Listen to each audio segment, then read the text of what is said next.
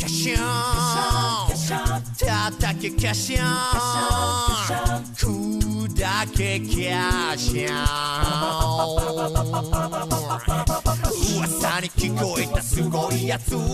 ตอนนี้ค่ะกระต่ายยืนอยู่ที่ร้านน้ำตกสีดาค่ะ ร้านนี้เนี่ยต้องบอกว่าเป็นรุ่นใหญ่ของวังหลังเลยนะคะ เพราะว่าเขาเปิดมานานมากแล้ว แล้วก็หาไม่ยากค่ะ เพราะว่าจะเห็นคุณป้าสีดานะคะ นั่งตำส้มตำอยู่ เอาเป็นว่าเราลองไปเลือกดูดีกว่าว่ามีเมนูอะไรน่าทานน่าทานบ้างค่ะ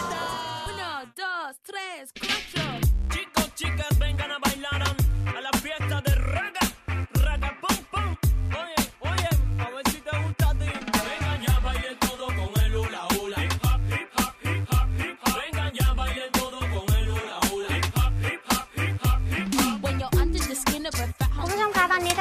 กระต่ายอยู่กับคุณป้าสีดาเจ้าของร้านน้ำตกสีดาค่ะ คุณป้าคะสวัสดีค่ะ สวัสดีค่ะ ต้องขออนุญาตคุณผู้ชมก่อนนะคะ ว่าให้คุณป้าเนี่ยตำส้มตำไปแล้วก็คุยไปด้วย เพราะว่าเห็นเลยว่าด้านหลังเนี้ยแขกรออีกเยอะเลยค่ะคุณป้าคะไต่ถามหน่อยค่ะว่า ร้านนี้เปิดมานานหรือยังคะเปิดมา 43 ปีแล้วค่ะ ค่ะ แล้วมีที่มาที่ไปยังไงทำไมถึงมาเปิดร้านส้มตำได้คะอ๋อป้าอยู่บ้านนอกอยู่กาลสินธุ์ค่ะค่ะ ก็เลยคิดว่าเออทางกาลสินธุ์ก็ตำส้มตำอร่อยก็เลยมาเปิดตำส้มตค่ะำแต่แรกๆก็ไม่ได้ทำส้มตำหรอกสามีทำรองเท้าอืมแต่ตะกิจมันไม่ค่อยดีก็เลย ค่ะ เปลี่ยนแปลงมามาไอ้นั่นเปลี่ยนแปลงมาเออตำส้มตำ ค่ะ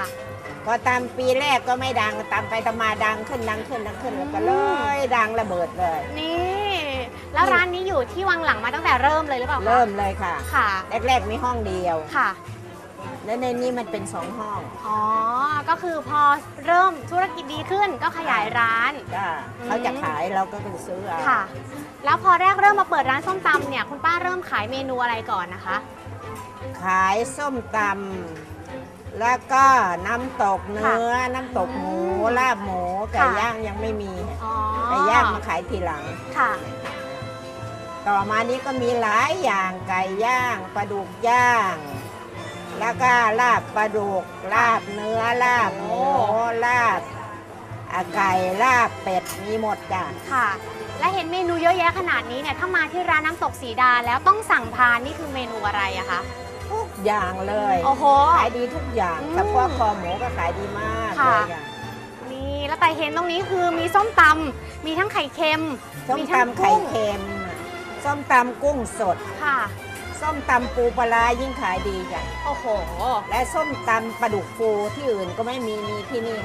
ปลาดุกฟูทอดกรอบค่ะตำเหมือนยำอะแล้วก็ส้มตำหอยดองค่ะโอ้โหงั้นต่ายเนี่ยขอดูเมนูเด็ดสักหนึ่งเมนูคุณป้าตำโชว์ให้ต่ายดูหน่อยได้ไหมคะ ได้เลยจ้ะอยาวส้มตำอะไรอะ เอาอะไรปูปลาร้านะ ได้เลย อะเริ่มจากการใส่กุ้งทำไมกุ้งที่นี่ตัวโตจังคะ ชอบซื้อกุ้งตัวโตๆเพราะว่าคนมาทานเขาก็ชอบ อืม ชอบกุ้งฝอยค่ะ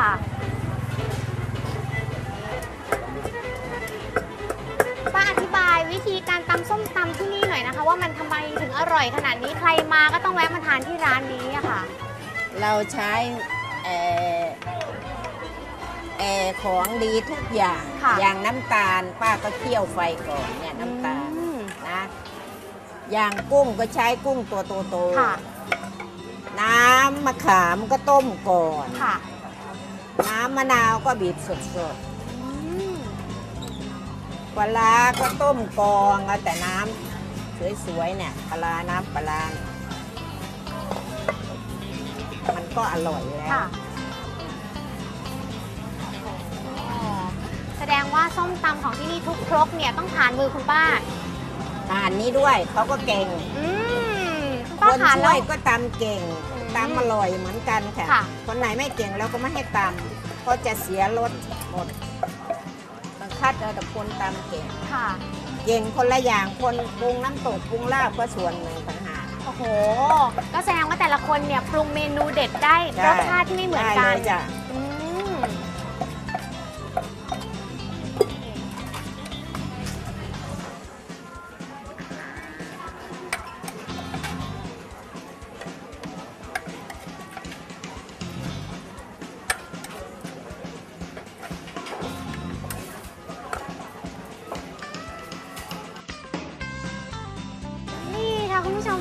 เมนูเด็ดของร้านนี้ก็คือส้มตำปูปลาร้านั่นเอง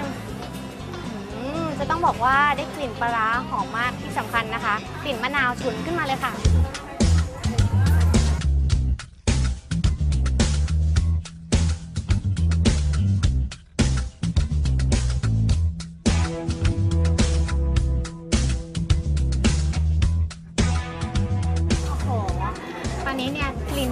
นจนน้ำลายสอแล้วค่ะ ตอนนี้ก็ได้เวลาชิมอาหารระดับตำนานของย่านวังหลังค่ะส่วนในจานนะคะก็จะมีนี่มะละกอนะ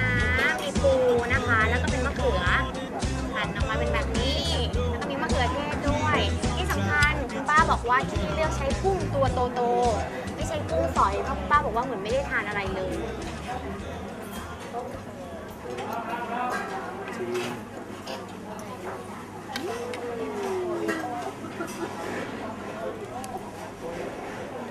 คุณผู้ชมคะ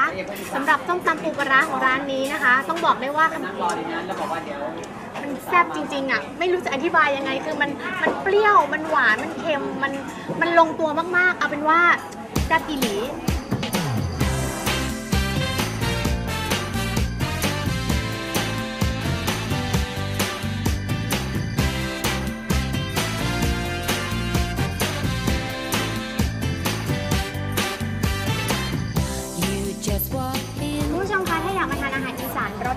นะคะ ที่วังหลังก็มากันได้เลยนะคะ ที่ร้านนี้ค่ะ ร้านนี้เปิดตั้งแต่9โมงถึง1ทุ่มนะคะ แล้วก็เปิดทุกวันปิดวันอาทิตย์ เว้นอาทิตย์นี่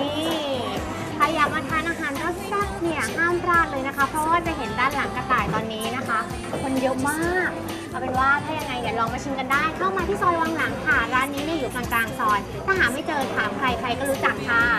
ร่อยแซ่บจี้ถึงใจขนาดนี้นะคะกระต่ายต้องขอปักหมูจุดอร่อยที่ร้านน้ำตกสีดาค่ะ หลังจากปักหมุดจุดอร่อยย่านวังหลังกันไปแล้วนะคะ ยังมีจุดอร่อยรออยู่ค่ะพักสักครู่เดียวค่ะ